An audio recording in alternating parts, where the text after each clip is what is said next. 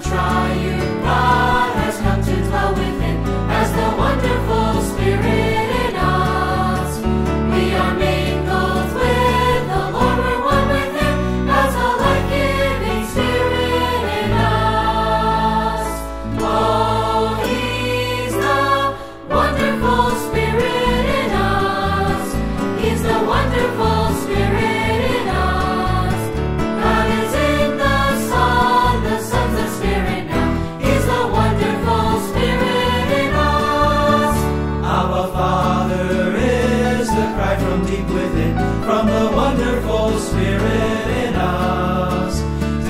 Spirit of the Son who cries to Him as the life giving Spirit in us. Oh, He's the wonderful Spirit in us.